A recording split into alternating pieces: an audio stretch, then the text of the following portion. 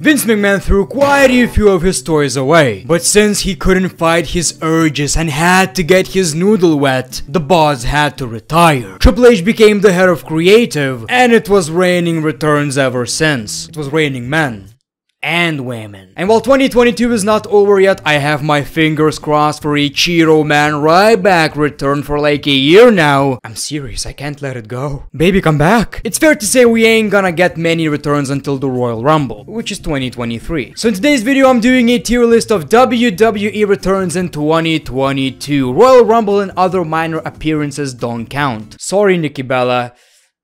Girl bye. Karrion Kross and Scarlett. This was actually one of the first returns we got from Triple H. We all know Karrion Kross is Triple H's boy. Vince McMahon absolutely ruined him when he dressed him as a sex toy. His opponents were like, do I need to wrestle or use him as a dildo? Karrion Kross came back to the WWE by attacking Drew McIntyre and sending a message to Roman Reigns. I think the return itself was great, really unexpected. I don't believe I've heard any rumors. So here's how it goes. We have a bunch of tiers. We're ranking the return based on the moment, whether it was worth it, and how successful the return has been so far. And when it comes to Karrion Kross, I think it's right in the middle. I believe his feud with Drew McIntyre was wasn't as good as expected, so that's kind of unfortunate. It seems like he's supposed to be a main eventer, but something is really, really off. The moment itself, was great. I think I would put Karrion Kross in the C tier. Just like I've said, so far 50-50. Cody Rhodes. This was an absolute shocker. Cody Rhodes left AEW even though he's one of the founders basically and he returned at WrestleMania. We all kinda expected it but that doesn't matter. It was still shocking. The fact that he used the same theme song, the same attire, the same gimmick, the same name, everything that was insane. Also, it happened under Vince McMahon, so that's another important note. This was perfect. The return itself, amazing at WrestleMania, crowd reaction, he won, Great match, literally couldn't go any better. What's also important is that his run was actually unbelievable so far. Obviously, he's injured now, but his feud against Seth Rollins was so damn good. Every match was like a 5-star classic basically, and this made him into such a badass. Legit, we all think that Cody Rhodes is the only man we should take these championships from Roman Reigns. So, Y'all know how this one goes. S, no questions asked. Candice, fit in your mouth. Okay, I'm, I'm, I'm done with the jokes. Candice LeRae. I think it's underwhelming. I think we are running into a problem and I already know what I'm going to say about most of these. I'm glad all of these people are back in the WWE, but since all of these returns happen almost at the same time, WWE can't use them all. So a lot of these wrestlers are just basically running around doing nothing. And that's what I'm seeing from Candice LeRae. She barely won, she's just there. The return itself was okay. I think it was I think it was fine. Okay, we're moving across to the B tier, and Candice belongs in the C tier. I also gotta judge this on how good they actually are, and Karrion Kross, he's good. I was kinda too harsh. Johnny Gargano. We're definitely seeing a different side of Johnny Gargano right now. He returned very randomly. After a commercial, we just heard his music and it's like, oh, he's back. Awesome. And you know, he's different right now. He's a bit of a comedy character and, I, that, and that's gonna change, I'm sure. But so far, it works. Like, I know we're kinda supposed to hate this, but I find him actually entertaining in a way. Some not not not all the time. When he's doing the DX chop and all of that, don't do that ever again, please, Johnny. We hate that shit. Obviously, they're not using his full potential, but it's pretty much a success. The moment was great, stories were decent, and we got some cool matches. I think he belongs in the B tier. Dexter Lumis. Basically, the whole story is he returned without Triple H actually signing him, in kayfabe of course. So he was running around chasing The Miz all this time, and finally he got a contract. Simply for the fact that it was so different, you know, this, I, I don't think this ever happened before, or at least in a very long time. So this was genuinely surprising, a very different approach, and I think he's a great character. I think he belongs in the B too. Braun Strowman. Oh, let's talk about our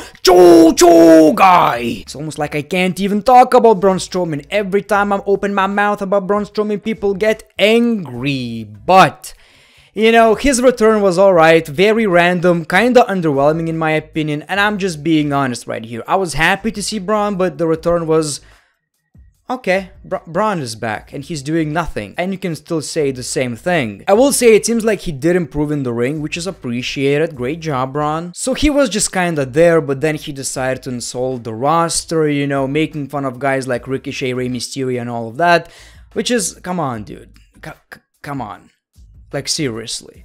That literally, like, all the respect I had for Braun Strowman down the toilet. And I know he cares about that. He cares about my respect. But Braun Strowman still has some value so far.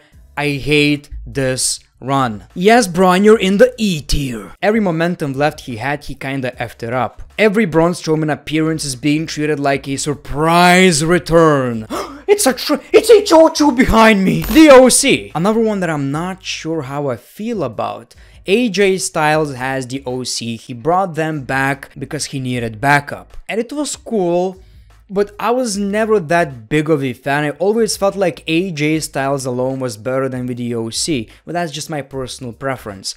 It's one of these returns that I'm just indifferent about. I don't really give a shit. But I can't say that it was bad either. I think they belong in the C tier. Mia Yim. A response to Rhea Ripley. She got no crowd reaction whatsoever, so already the return itself, not that good unfortunately. Again, it's one of these returns where I don't know how I feel about, I don't hate it, I don't love it. So just right in the middle. Stone Cold Steve Austin. Well, I know maybe it shouldn't be in this list, but come on. He came back to the WWE and wrestled at WrestleMania.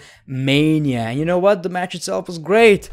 It was shocking. I love these type of returns. I know we're supposed to hate part-timers or whatever. Of course, uh, Stone Cold Steve Austin is an exception. I think even the biggest mark would be like, okay, Stone Cold Steve Austin, I can understand. The whole thing was just absolutely beautiful. I think he belongs in the A tier. Simply because putting Stone Cold Steve Austin in the S tier wouldn't be fair because, you know, he's not an active competitor. Sarah Logan, okay, hear me out. I don't get that type of shit. Obviously, we don't know much yet. I it was one of these moments where I just felt cringe.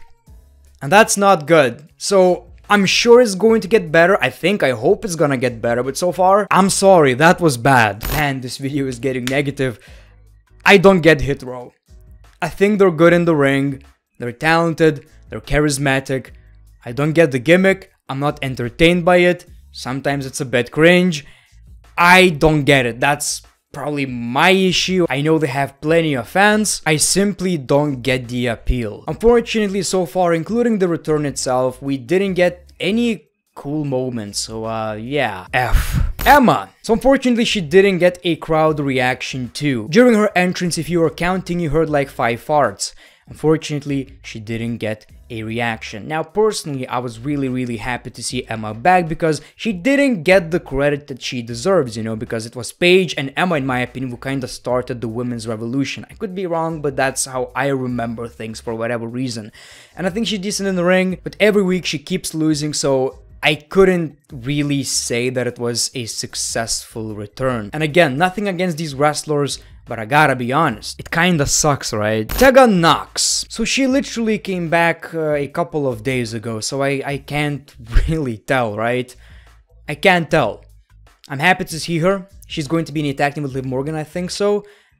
I kinda like that, so since I don't know how to feel about it yet. I think C is the right place. Ronda Rousey. I believe she came back during the Royal Rumble match. At first it was not so good. Then once Triple H took over, we finally got Ronda Rousey that we actually wanted to see, you know, she basically was the Brock Lesnar of women's division. That's what I always said, you don't need Ronda Rousey wrestling on every show, she needs to act like she doesn't give a shit. And that's what Triple H did with the character, and it, and it was kind of working. But then something changed, and now every time I see Ronda Rousey with that championship, it's like, I get sad in a way. Like, it's so not entertaining to the point where I'm like, That's sad. I remember I got that feeling during that Raw era. I believe in, it was in 2018 when we had Bobby Lashley, Drew McIntyre, and Baron Corbin in a tag team, in a group faction, whatever. I was watching Raw and I was like, I don't know what it is about that show, but I feel sad. I don't know how to explain this. So I'm going to put Ronda Rousey in D. We did get some cool moments, and there's a lot of potential since she's a big star. But right now what's happening with Ronda Rousey is absolutely garbage. Damage control, so Bayley came back and then we got two surprises, Dakota Kai and Iyo Sky. At first I was really really excited. I think that was a great idea. On paper it sounds like a great faction. Then you heard the theme song. You listened to the theme song, you hated the theme song, you got diarrhea because of that theme song, and perhaps you even started hating music. But then they kept losing, and losing, and losing, and losing. The promos are just kind of annoying to me. You know, I, I don't get it. Everything so far was bad, except for a couple of good matches. Obviously, they're all very, very talented. As a faction, it just doesn't work. I've tried to like them. I really, really tried my best. But yes, people, I'm sitting right here, farting and giving them go home heat. Yes, that's what I'm doing right here. Yeah, so far this ain't working in my opinion. They definitely need a change. And finally, Bray Wyatt. So this one is an obvious, right? The return itself was perfect. It was just a beautiful, a piece of art. That being said, he's obviously going to be in the top tiers.